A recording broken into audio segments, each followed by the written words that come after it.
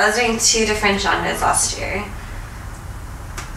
It's cool. It's Yeah. confusing for people because like I would invite people to shows and they don't know like kind of what they're gonna get. But I kind of made it clear like you know I did folk for the first part of the year, and then I got into hip hop and I just did like hip hop for the rest. Like I split it up like pretty evenly. So it's cool though to like I don't know. People liked it. People liked both, so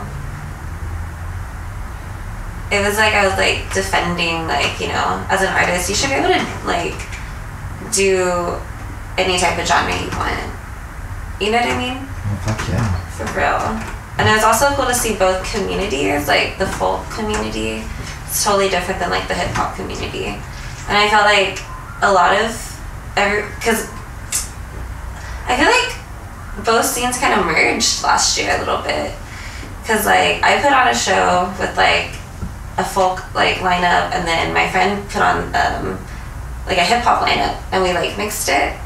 And I feel like we brought a lot of different communities together that night, and we kind of kept doing that like throughout the whole year. We kind of kept that vibe, and it was cool.